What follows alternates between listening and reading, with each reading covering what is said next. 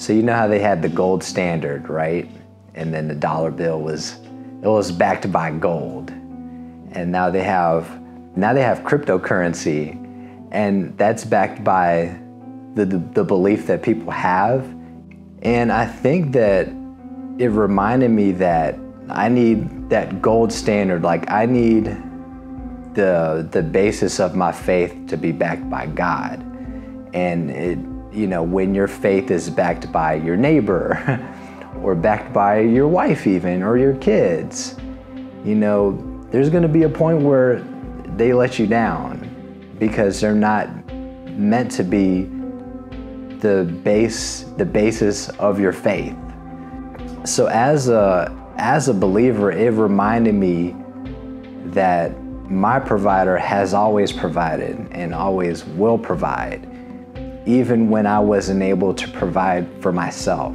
Like He provided people, He provided people that did things for me. And that was nothing I decided, it's just He's always provided. And um, not just people, but resources. I don't give myself that credit because then I have to own up to continuing to be my provider, and I, I can't. I can't do it without God always providing and, and making up for the gaps, even where I, I'm super technical and can come up with, um, you know, the, the answer.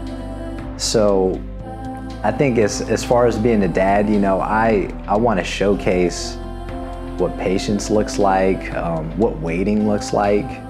I'm normally like, a, okay, let's figure it out, let's do something.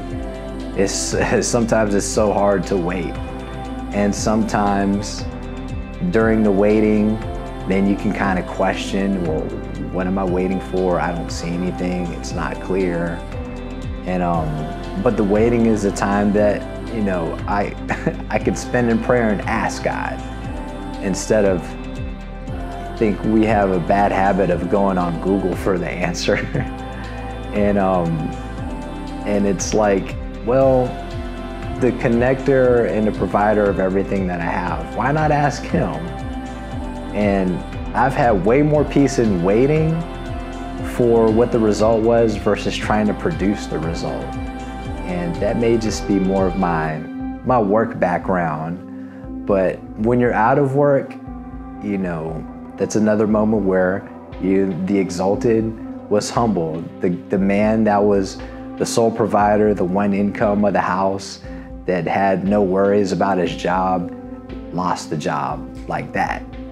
And it was a big reminder like, okay, I didn't give myself the job.